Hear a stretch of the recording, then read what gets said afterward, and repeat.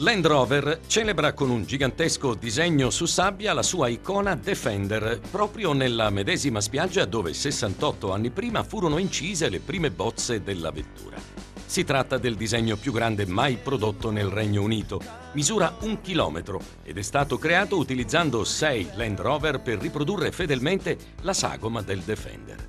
Un evento celebrativo ed emozionante anche per annunciare la produzione di tre nuove serie limitate Heritage, Adventure e Autobiography, tutte alimentate dal motore 2.2 litri diesel e già ordinabili. La produzione del Defender terminerà a dicembre 2015.